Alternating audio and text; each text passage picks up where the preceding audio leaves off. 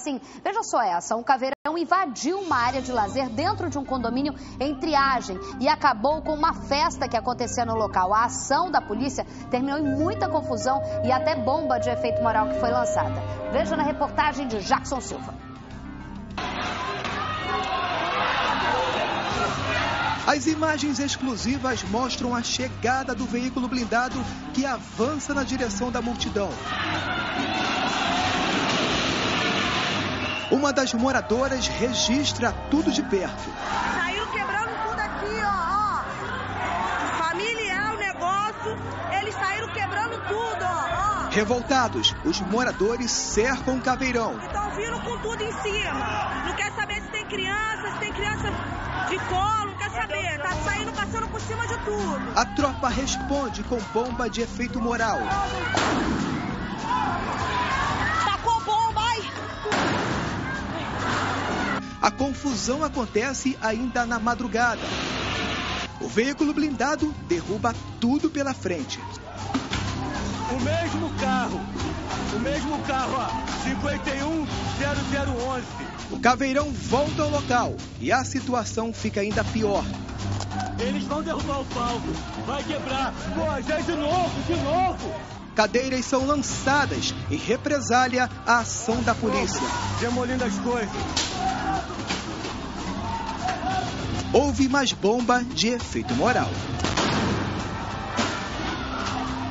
Pela manhã era possível ver os estragos. Equipamentos de som também foram destruídos.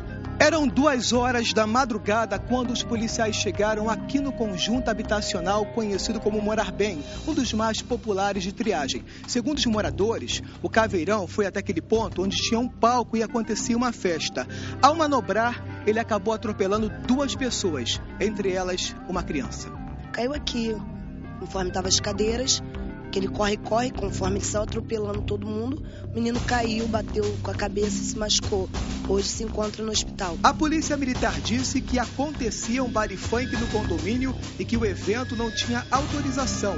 A PM afirma ainda que vai apurar se houve excesso por parte dos PMs. Este morador nega que houve baile funk e contabiliza o prejuízo.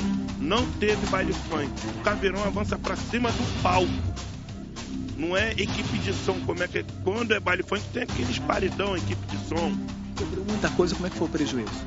Quebrou o, o rapaz, dono do palco, ele teve um prejuízo estimado em 20 mil reais. E eu um prejuízo estimado de 5 a 6 mil reais. Ele ainda denuncia que essa não foi a primeira vez que o caveirão invadiu o evento no condomínio. Já é três vezes que eles fazem isso. A gente fizemos uma festa junina, um monte de barracas. Tá entendendo? É, milho, pipoca, crianças. Eles vieram pro caveirão e arrebentaram. Agora foi a gota d'água. A festa seria em comemoração aos 36 anos de Tatiane Braz. O que era para ser uma festa acabou em muita confusão. Acabou num desastre. Estava toda a minha família. Eu tenho primos que são deficientes, estava todos aqui. E todo mundo ficou apavorado. Foi uma correria, todo mundo se machucou. Uma imagem que Tatiane quer esquecer para sempre. Por quê? Eu fiquei traumatizada. Fiquei muito chateada mesmo o que aconteceu. O caso foi parar na Polícia Civil. Nós não somos bichos, nós queremos viver com uma pessoa digna, entendeu? Com uma pessoa honesta, somos todos trabalhadores, entendeu? Isso eu acho isso, uma indignação para todo mundo aqui dentro.